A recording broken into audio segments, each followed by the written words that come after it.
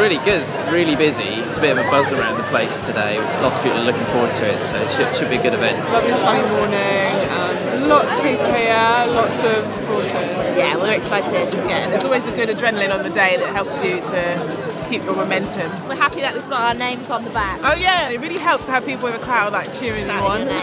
Just uh, got to enjoy the day, lots of people cheering you on. Go team fight for sight. Yeah. fight for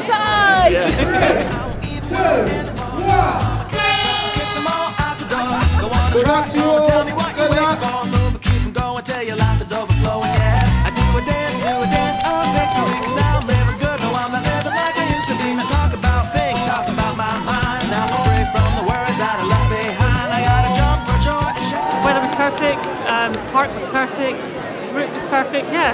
It was really good, yeah, it was really good. I enjoyed going around kind all the sights of London. Bit tough towards the end, but happy to finish. It's good running through town, but the best bit's the park because then you get all the um, crowds and everyone shouts. It's really good, really motivating. Yeah, it makes it a lot easier.